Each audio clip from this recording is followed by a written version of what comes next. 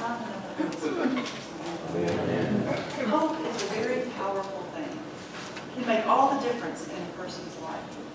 To have hope is to have strength that you didn't know that you had. To keep going, to keep moving forward. And to lose hope is to lose your way. To lose your footing, maybe even your life. Found a story that demonstrates the power of hope. It's about a, mil a millionaire named Eugene Lang. He was asked to be the speaker to a graduating class of sixth graders at PS 121 in East Harlem. And before he spoke, he talked to the principal a little bit about the kids that he was going to be addressing. And um, he said, he asked how many of the 61 children would go on to go to college. The principal said, probably one. Well, that took him aback, as you can imagine, and he, he knew he wanted to say something that was going to inspire those kids, to challenge them not to drop out of school. So he decided to take a very big step. He told them, stay in school and I will help pay for your college tuition. In other words, show me a high school diploma and I will pay for you to attend the college of your choice. Well, at that moment, the lives of these students was changed. They all of a sudden, for the first time, had hope. They had reason to try and to move forward. One of them said, I had something to look forward to, something waiting for me. It was a golden feeling. 90% of that class graduated and went on to college. Well, a clinical psychiatrist named Dale Archer wrote an article for the magazine Psychology Today, and it was called The Power of Hope. He said, if I could find a way to package and dispense hope, I would have a pill more powerful than any antidepressant on the market. Hope is often the only thing between man and the abyss. As long as the patient, individual, or victim has hope, they can recover from anything and everything. With that in mind, I want us to look at Peter this morning. Peter, who was kind of the leader or the spokesperson for the other 11 disciples. He started out as a fisherman, and one day his brother Andrew came to him and he said, we found the Messiah. And he took Peter, Simon, which was his original name, took Simon with him to meet Jesus. And Jesus said to him, you are Simon, the son of John. You shall be called Peter, which means rock. After they had spent some time together, they had this interesting conversation about who each of them believed the other to be. Peter said to Jesus, You are the Christ, the Son of the living God. And Jesus said to Peter, You are Peter, and on this rock I will build my church, and the gates of hell shall not prevail against it. I will give you the keys of the kingdom. That's quite, quite an honor to hear coming from your Lord's mouth. And Peter got a lot of things right, but he also got some really big things wrong. For instance, not long after he made this amazing statement of faith, Jesus had to rebuke him for refusing to believe what he was telling him about his death and resurrection. Peter boldly and wrongly said, this will never happen to you. And Jesus had to rebuke him. He said, get behind me, Satan, you're a stumbling block to me. From up here to about down there. And of course, Peter's greatest failure was when those very words came true about the Lord's death and resurrection. On the night before Jesus died, Peter said he would never abandon the Lord, no matter what anybody else did. He would stick by him. He said, even if I must die with you, I will not deny you. Yet within a few hours, that's exactly what he did. After Jesus was betrayed by Judas and arrested by the Jewish leaders, Peter denied three different times that he even knew who he was. And in the midst of the confusion of that night and the horror of the next day, which was only made worse by the burden of guilt that he carried because of his denials, the Lord Jesus did die. And Peter wasn't even there with him. He was too afraid to stand with him to the end. To have lost your dearest friend, someone who has just opened your eyes to see the world in a whole new way, who has shown you love that you could never even begin to imagine was real. To have lost that friend is terrible. But to have parted under such awful terms, he never had a chance to say, I'm sorry, before Jesus died. That such a terrible departure must have been more than he could bear. Of course, there's one other disciple who suffered even more than Peter did that day. It was Judas. It was his betrayal of Jesus that set all of these events in motion. And his guilt was more than he could bear. And he, of course, took his own life. But something must have helped Peter hang on, hold it together just enough to get through. He, he somehow held his hand from taking such drastic measures. Must, must have been just the smallest fragment of hope, the, the tiniest glimmer of light that kept him from just falling into that dark pit. Hope has that effect on people. It gives us the strength to keep on breathing, to, to put one foot after the other, and to keep moving forward day by day. And of course, we know that Peter's hope was not in vain because three days later the Lord did rise, just as he said he would. Peter found the empty tomb. But even with the empty tomb in front of him, and hopefully somewhere in his mind, the words of Jesus, he still couldn't quite put it together. It was just, it was too, too much, too, too much to believe. It wasn't until Jesus appeared to him that he began to put all the pieces of the puzzle together. And Jesus, in his very great mercy, gave Peter the chance to repent of each one of those denials when they met together on the beach one day. Jesus asked Peter three times, Do you love me? And Peter had the painful privilege of responding each of those three times, Yes, Lord, I do love you. He was reconciled and restored.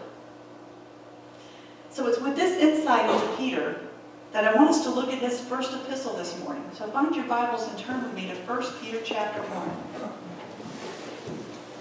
Peter wrote it 30 years after these events. And we can see how his life was totally transformed. How this was the defining moment for him and also, of course, for all of us as well. And over the years, the Holy Spirit gave him insight into the meaning of the resurrection, which we are blessed to have in the Scriptures. So 1 Peter chapter 1 is on page what? 1201? 1201. We're going to look start at verse 3. Praise be to the God and Father of our Lord Jesus Christ. In his great mercy he has given us new birth into a living hope through the resurrection of Jesus Christ from the dead, and into an inheritance that can never perish, spoil, or fade. This inheritance is kept in heaven for you, who through faith are shielded by God's power until the coming of the salvation that is ready to be revealed in the last time. Now, the first thing I want you to notice here is that Peter is praising God because he has given us a new birth. There are many passages in the Bible that talk about being born again. And when we in faith accept Jesus' death and resurrection as our only means of salvation, not only are our sins forgiven, but we're given a fresh start, a new beginning. I can remember so powerfully and vividly what that felt like that evening in that dorm room Bible study where I sat in the back trying to hide. But after my time of prayer, and when I finally met Jesus for the first time, I felt set free. I knew I was getting a new start. I no longer had to hide behind lies and guilt for all the mistakes I made. I was going to get a chance to really live life the way I always wanted to live it. But I never knew I had the strength to do it. And of course, it wasn't my strength, it was his strength that he gave me in the Holy Spirit. Peter goes on to talk about the additional benefits that come with this new birth that we've been given. The first one is hope. He says in verse 3 that we've been given a new birth into a living hope through the resurrection of Jesus Christ from the dead. You could say that Jesus' resurrection was the most hopeful event that ever occurred. It means that everything that Jesus said about himself was true. Everything that the cross was supposed to accomplish, it did. It was heaven's resounding amen to everything that Jesus lived and said and died for. This living hope is the assurance that no matter what we face in life, that in Christ we have the promise of a better life to come. We have an eternal future that far outweighs any pain or trouble that we might suffer in this life hard to imagine when you're in the midst of it. But if we were to stretch out a timeline between our time here on this earth and our time in eternity, we know this is just a blip. And no matter how bad it is, what's to come is so much greater. The second benefit of this new life is an inheritance. Verse 4 says, an inheritance that can never perish, spoil, or fade, because it's kept for us in heaven. And the word kept here doesn't just mean like it's stuck on a shelf somewhere until you get there, you know, something that's got reserved with your name on it. the word that's used here, tereo, it means guarded, like in the military sense. Think Fort Knox, okay? That kind of guarded. Fort Knox is one of the safest places on earth. You know, it houses $180 billion worth of gold bullion behind a 22-ton door. And the combination to that door is given to 10 different staff members. No one person has the whole combination. The 10 have pieces of it. And in order to open the door, they have to kind of line up and put in their code, their piece of the code in order for it to open. And if that weren't enough to keep the bullion safe, of course, we also know there's armed guards, surveillance, camera, enter, what is that? Um, got it written down. Infrared surveillance, you know. Um, concrete and reinforced granite walls. I mean, it's, like I said, one of the safest places on earth. Whatever is kept in Fort Knox is well kept. So if that's how man guards the nation's wealth, imagine how secure your eternal inheritance is with your Heavenly Father. Gold in Fort Knox is going to perish one day. It's not going to last for eternity.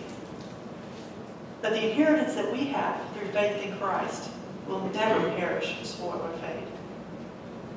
Peter also says that it's not only our inheritance that's kept secure for us, but we are kept secure for it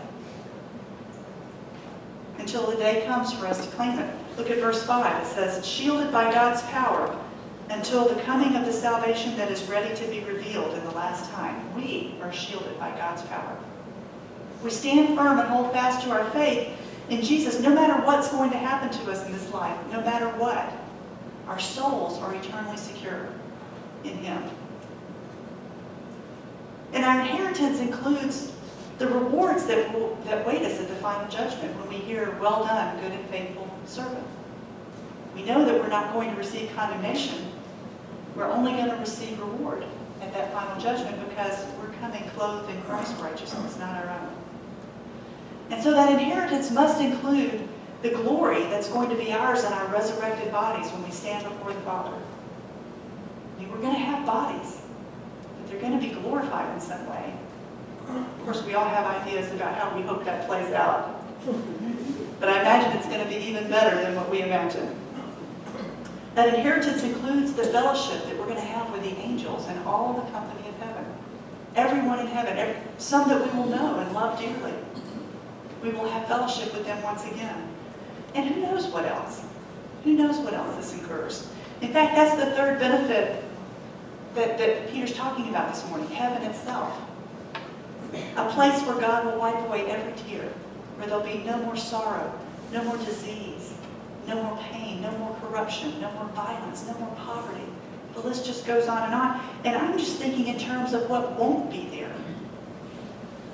Paul wrote in 1 Corinthians 9, No eye has seen, no ear heard, nor the heart of man imagined what God has prepared for those who love him. I can only think about the things that won't be there. We can't even imagine the things that will be there. We probably don't even have words to describe them. Which brings me to the fourth benefit, which is joy. Peter says in verse 6 that because of this great inheritance that we have, we greatly rejoice, though now for a little while you may have to suffer grief and all kinds of trials. Heaven will be a happy place because it'll be perfect. And happiness is dependent upon circumstances. And they will be perfect circumstances for us in heaven. So it will be a happy place. But we're not living in perfect circumstances right now. So happiness kind of comes and goes based on how our day is going. It's, it's, not something we can bank on. What we need is joy. Joy is completely independent of your circumstances. Doesn't matter. We can be in the midst of pain or suffering or any kind of trial and still experience joy. Because joy is about the reality of who God is and who we are in Him. Our God is sovereign over every single aspect of His creation and every single aspect of our lives. So when something bad happens to us, we can trust that God is still in control. Not that he has caused us to suffer, but that he is able to take anything that can happen to us and redeem it for his purposes. I've met people who have suffered greatly in life, some of them innocently at the hands of others, and I've seen how God has taken their pain and turned it into something just beautiful. Something that has transformed them into people who can give encouragement and strength to others who, are, who have gone through the same thing they've gone through. They're able to share the hope that they found with people who are desperately looking for hope. That's one of the many things that I love about God. And Paul describes it in 2 Corinthians 1 4 as how he comforts us in our affliction so that we may be able to comfort those who are in any affliction with the comfort with which we ourselves are comforted by God. It's a little bit of a tongue twister, but you can hear what he's saying. When we receive God's comfort, we can then in turn give it to others. Because you can't give away what you don't have. But if you do have it, it's yours to share because we're called to be a blessing. I love that God doesn't let, He doesn't waste any pain in our lives. If we'll let Him, He can use it for great purposes. We become wounded healers.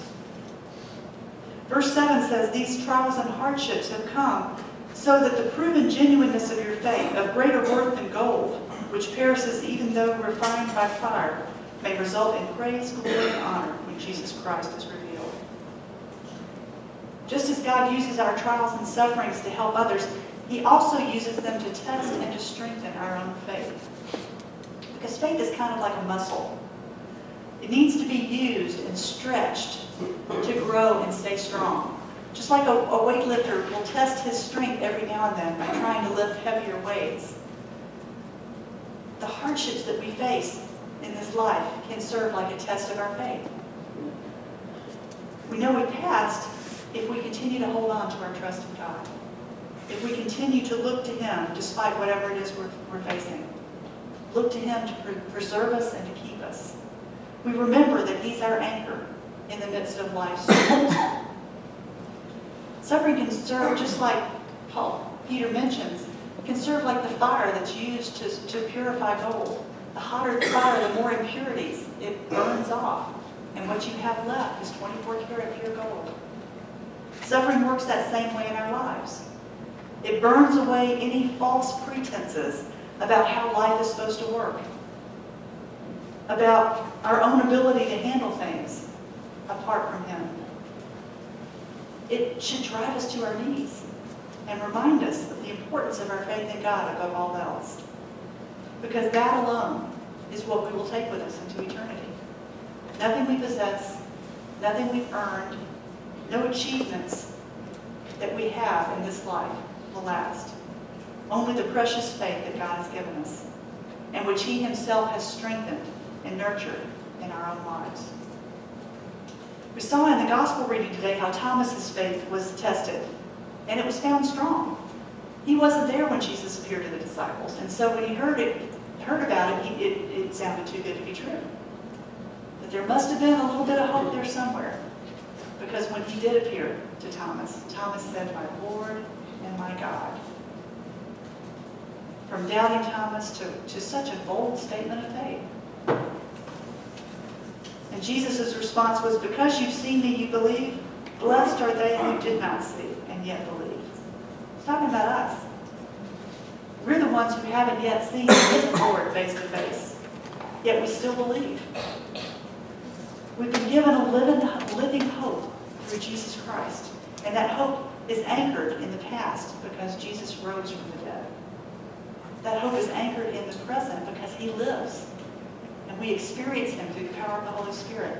And that hope is secure in the future because we have his promise that he will one day come again. That power that hope can sustain us through anything that life can throw our way. It tells us that if God has power over death, he has power over anything that we might have to face. We can trust in him. Let's pray. Lord God, thank you for this bedrock of hope that we have in you. And what I pray for is the grace to remember that when the storm does hit. When someone we love gets sick, or if it's us ourselves. When anything bad happens in our way, Lord, give us the grace to remember that we are anchored in you and that our feet are standing upon the solid rock that is the Lord Jesus Christ. And when someone around us is, is suffering in the midst of that storm, Lord, help us to stand with them. Help us to help them find their footing and find their hope. In Jesus' name we pray.